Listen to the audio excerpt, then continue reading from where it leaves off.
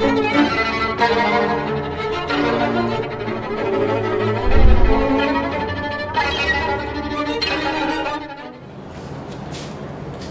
there. This time I want to teach you about at, in, and on plus places. Let's begin. At. At is used with expressions such as at home, at school, at work. For instance, Irene is usually at work in the afternoon.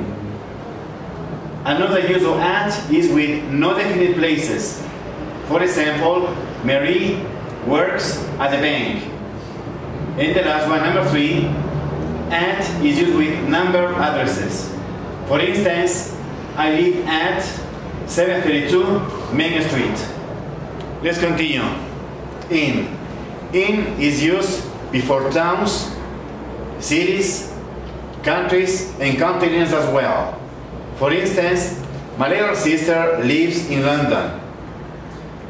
Another use of in is with part of the house. For example, I like to watch TV in my bedroom.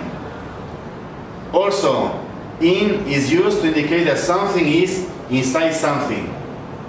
For instance, there are some cookies in the box.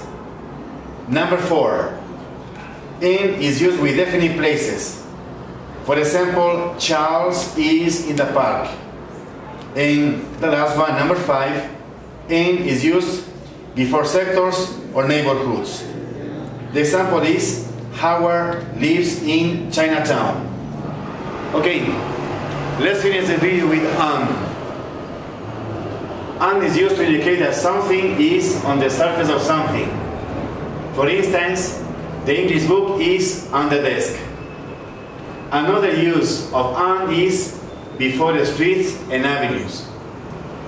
Mr. Here supermarket is on Kennedy Street. And finally, with expression on the corner of. I was waiting for my bus on the corner of First and Second Avenues. That's all folks. Thank you very much. Yes!